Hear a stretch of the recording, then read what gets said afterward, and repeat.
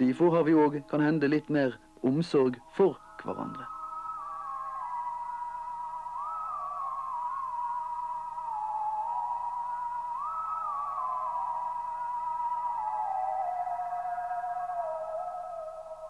Det er vel òg slik at religionen har hatt mye å si for mange. Det var i alle fall her, lengst mot vest og på de yste skjæra, at læra om Kvitekrist først kom til landet.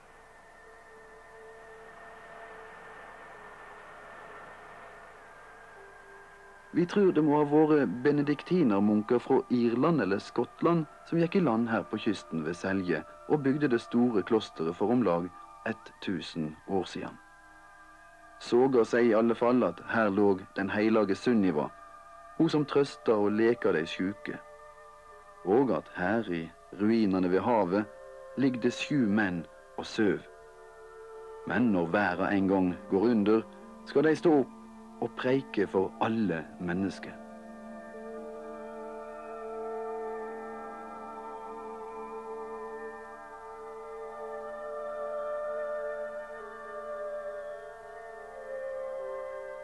Videre sier Soga at mange kyrkjer ble bygd på steder der de heilage mennene fra Selje hadde vært.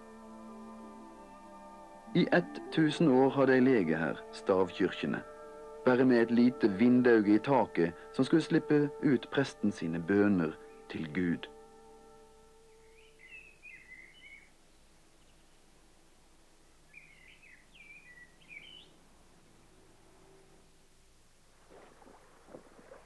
Men jorda snur i bana si, og en dag er høsten og vinteren kommet til fjordlandet.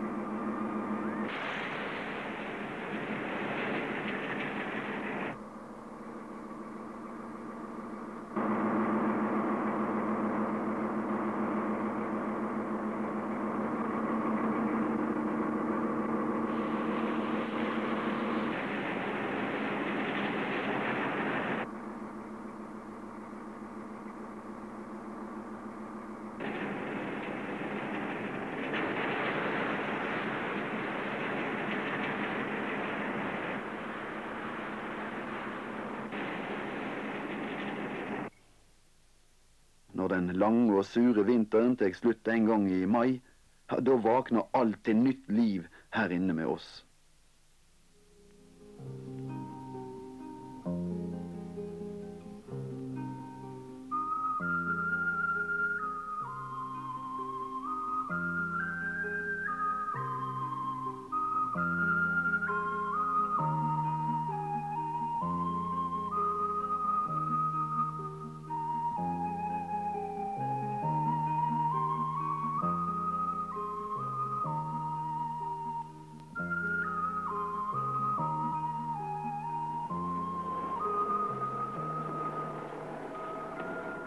Vi blir mest overfalt, invadert av folk i båter, i biler, med ryggsekk, sovepose og sykkel. Ja, du storeste tid hvor de finner veien inn til de trangeste fjordarmene.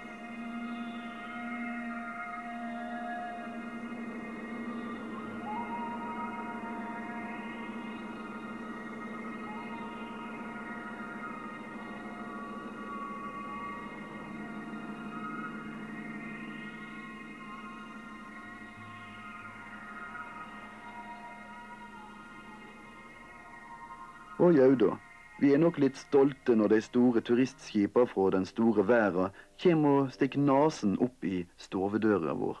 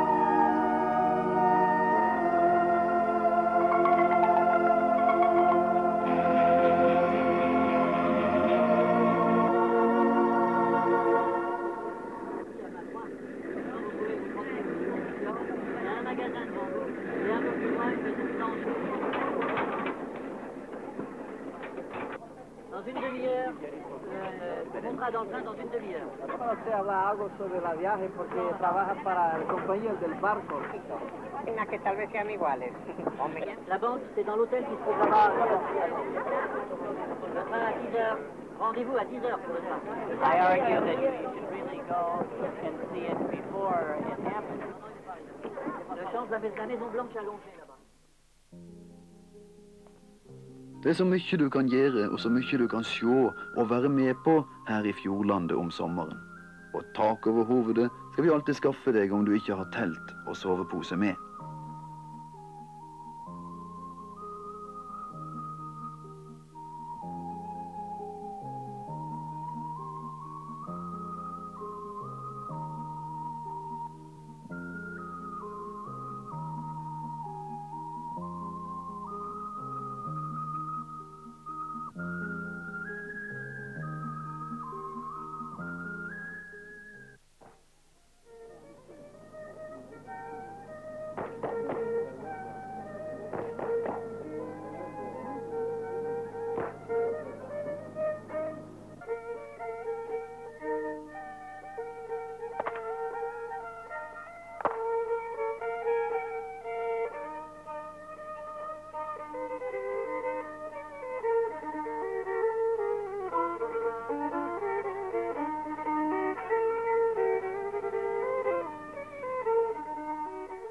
Nå har vi vel òg i oss alle en respekt for alt som en gang var.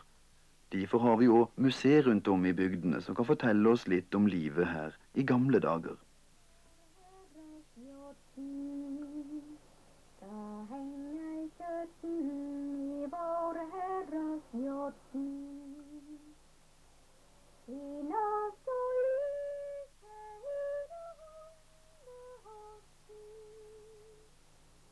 Her i Jølster bodde måleren Nikolai Astrup.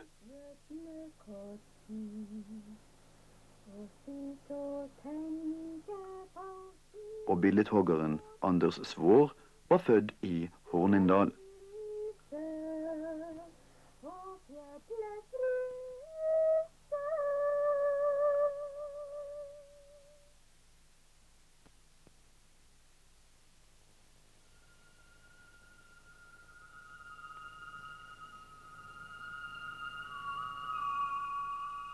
Når vi har vandra rundt her, har vi til tider tenkt med oss sjøl. Hvordan vil alt sjå ut her om noen tusen år? Vil isbreene som en gang forma landet, dra seg enda mer attende? Og avduke landskap vi ennå ikke har sett? Eller vil klimaet på jorda bli kaldere, slik at alle de fjella, fjordene og dalene vi kjenner så vel, enda en gang blir dekka av evig is?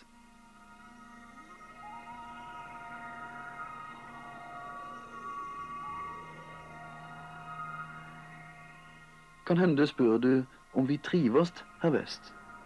Å jau, litt ensomt kan hende vinterstid, men det er godt å bo her.